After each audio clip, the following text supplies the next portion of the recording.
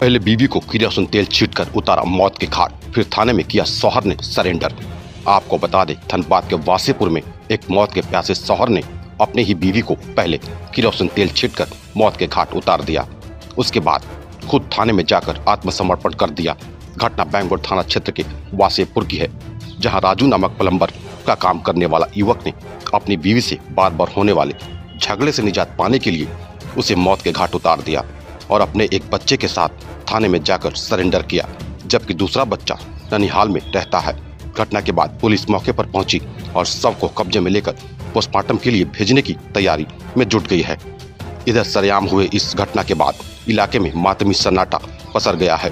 Bank मोड़ में थाना प्रभारी रणधीर कुमार ने बताया कि युवक पुलिस हिरासत में है और पुलिस आगे की छानबीन कर रही है, ताकि घटना के बारे में और अधिक जानकारी इकट्ठा की जा सके एवं आरोपी को कठोर से कठोर सजा दिलाई जा सके। अभी तो प्रथम दृष्टया एक शबनम परवीन थी। उनके हस्बैंड जो है उनको किरासन तेल से जला के और आगे छानबीन हो रहा है। क्या इसमें किसी की गिरफ्तारी हुई है कुछ? अभी मैंने यहाँ हम लोग पी पर हैं तो पता चला है कि वो थाना पर सरेंडर किए जा रहे हैं हम लोग यहाँ की हैं वो भी जा रही हैं। देख रहे हैं। पर यहाँ हुआ मियाँ बीबी का लड़ाई में आग लगाने का कांड आया, सामने हम लोग आए।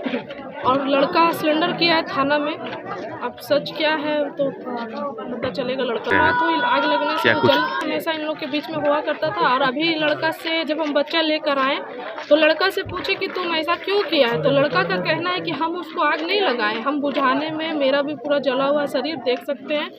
और लड़की मैके जाने के लिए शायद जिद कर रही थी तो ये बोला तीन जनवरी को जाना। शायद आज जाने का बात कर रही थी तो लड़का का कहना है कि वो खुद आग लगाई।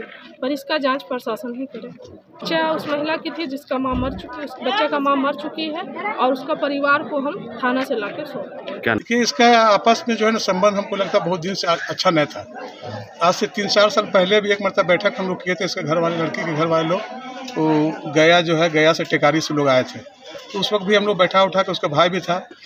ये लड़का सरफराज टाइप का था एकदम मतलब कि हमेशा जो है उसको टॉर्चर करना दारू पीना ये करना कभी कभी छत पर जो है नंगा घूमना ये करना बहुत तर, इस तरह का। तो उन लोग आया था पंचायती थी किए तो इसका इसका इतना आतंक था कि आतंक की वजह से इसका भाई अपना भाई सगा भाई इसका अपना अपना हिस्सा का घर बेच करके यहाँ से हट गया।